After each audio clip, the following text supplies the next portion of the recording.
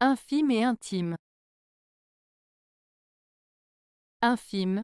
L'adjectif infime qualifie quelque chose de très petit, minuscule ou insignifiant. Exemple. La différence de taille entre ces deux insectes est infime. Le montant de cette réduction est infime, cela ne vaut pas la peine de l'utiliser. Intime. L'adjectif intime se réfère à quelque chose de personnel, privé ou étroitement lié à une relation. Exemple. Les confidences partagées lors d'une conversation intime. Les moments intimes passés en famille lors des fêtes de fin d'année. Différence.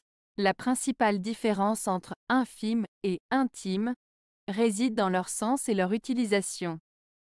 Infime se réfère à la taille ou à l'importance minuscule d'une chose, tandis que intime se rapporte à la sphère personnelle ou à des relations étroites.